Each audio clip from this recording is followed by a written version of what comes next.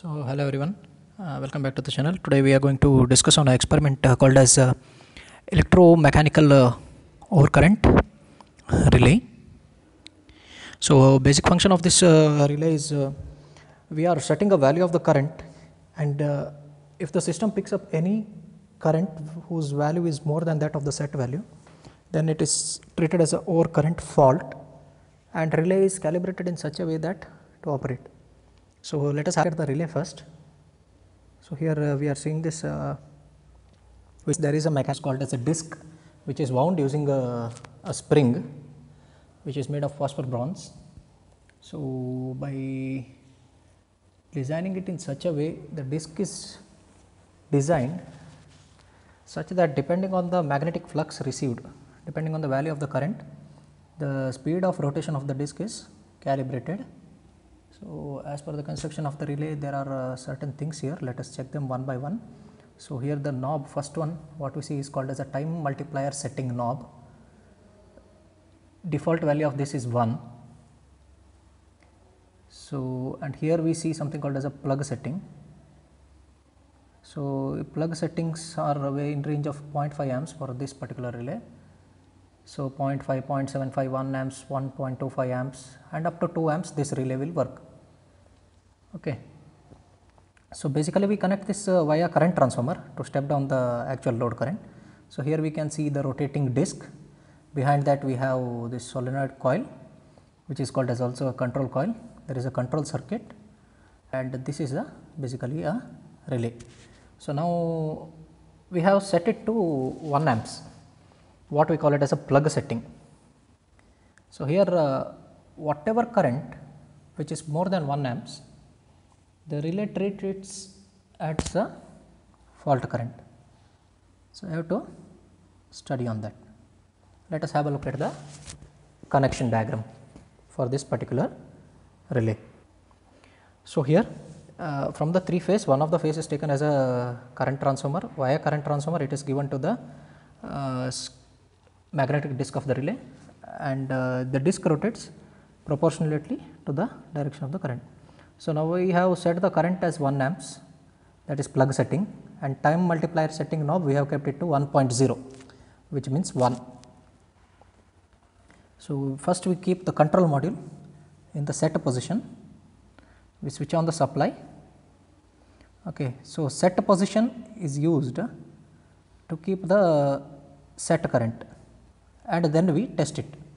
So, timer bypass circuit is on. If we do not keep it on then within 20 seconds the relay will trip and it is not possible for us to get the characteristic. So, now we keep the switch in uh, set mode.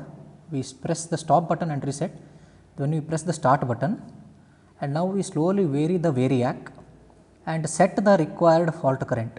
So, now we are setting it to 1.5 amps approximately because 1 amps is our set current. So, any current above 1 amps is treated as fault. So, we are setting it 1.5 amps to see whether the relay will trip or not. Now, the settings is done.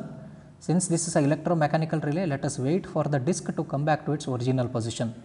Without this, we should not start it. So, now we keep the switch in the test mode and press the start button and we can see that disc is rotating as per the set calibration and uh, disc has detected that there is a fault current because there is a magnetic flux produced which is uh, more than the required value. So, now we can see that uh, at one particular point the relay trips and we can hear the beep sound. So, now relay has tripped at 18.34 seconds for the plug setting of 1 time multiplier setting 1. So, let us reset the flag, reset the testing module once again keep it the testing kit in the set mode and let us set some other value of current. So, now we are uh, setting approximately 2 amperes of current.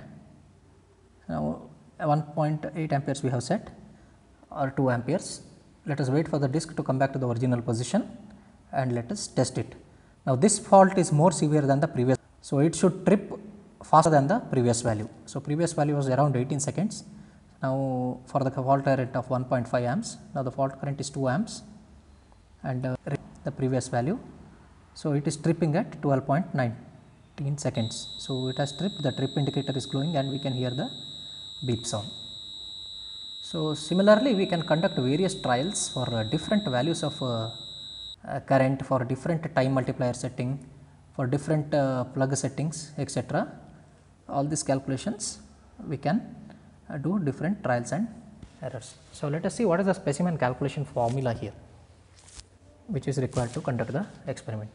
So, plug setting multiplier is the main formula which is fault current divided by plug setting. So, plug setting we have kept it to 1 amps and fault. So, similarly we calculate the time setting multiplier or time multiplier setting and we tabulate the values.